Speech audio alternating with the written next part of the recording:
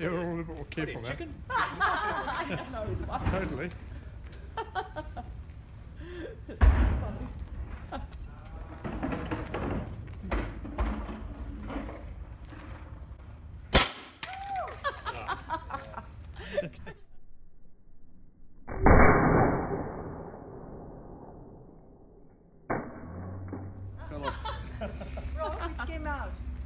Well, let's see if it works on the first attempt, eh? Yeah.